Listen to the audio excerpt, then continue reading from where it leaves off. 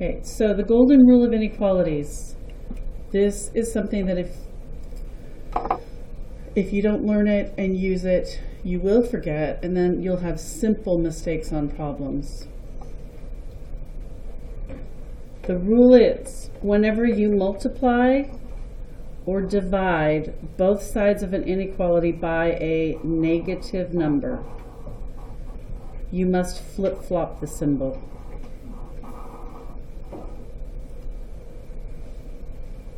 If you're multiplying or dividing both sides of an inequality by a negative number, you will flip flop the symbol.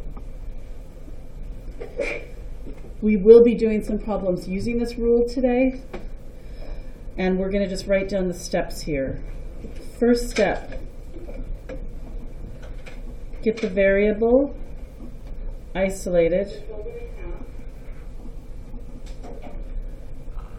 on one side of the inequality.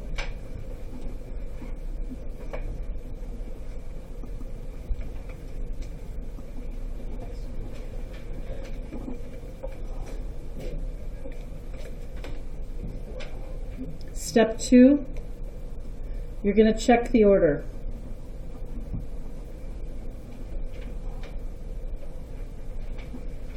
The variable should be on the left, right?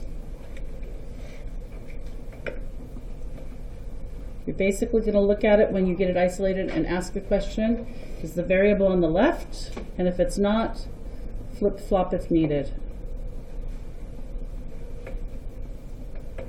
We might do lots of flipping of symbols with these.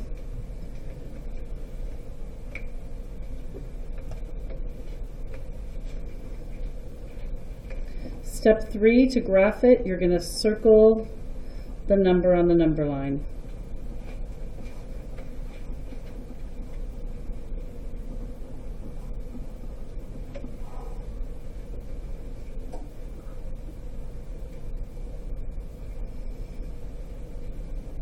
Step four, you're going to ask yourself, open or close circle.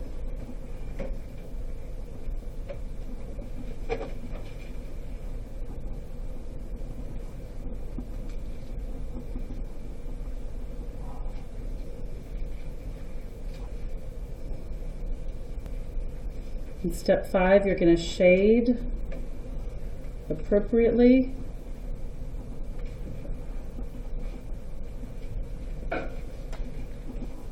And draw the arrow.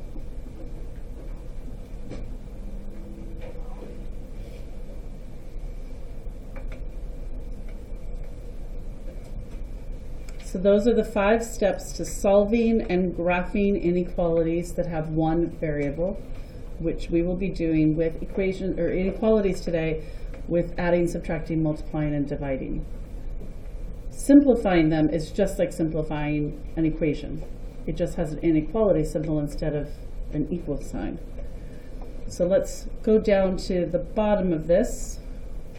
We have open circles when we have greater than, less than, or not equal to. This is a review of yesterday. We had this in our notes yesterday. When do we have a closed circle? When we have greater than or equal to, less than or equal to. They always look like eyes when I do them like that, don't they? Oh, yeah. Or if you have the equal sign. If we have an equation and we're asked to graph it on the number line, it would be a closed circle right at the number that the answer is. So the example we have on this graphic organizer is actually more complex than many of the problems we're going to start off with in a minute. So I'm going to go through the steps on this, and if you guys can follow me with this, you're going to do great on the problems today. I want to get the x by itself. Do you see that there's an, a 3x here, a negative 3x, and a positive x over here? Yes. I want to get them together. So I'm going to subtract this x. That's going to make it go away on the right side of my inequality symbol. And on the left side, I'm going to now have 5 minus 4x is less than or equal to 13. Notice I subtracted an x, but I did not multiply or divide it. What was the golden rule? if I multiply or Divide.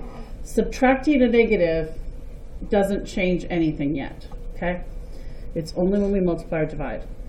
And then I have this 5 here, and I want to move it to be with the 13. I'm going to subtract the 5.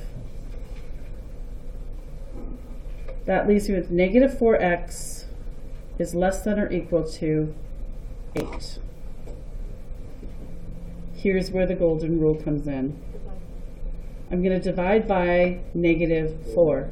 What's the golden rule? Whenever you multiply or divide bo- both sides of an inequality by a negative number, you must flip the symbol.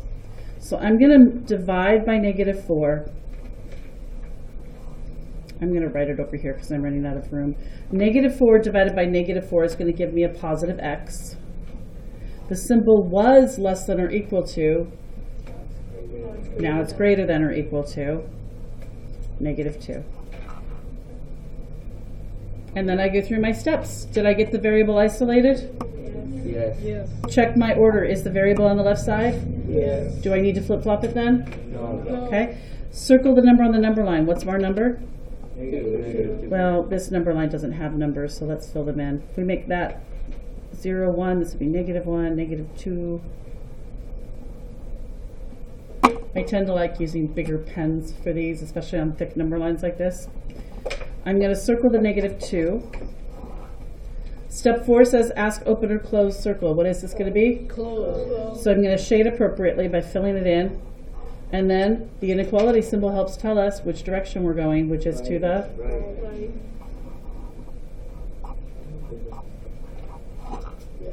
Okay?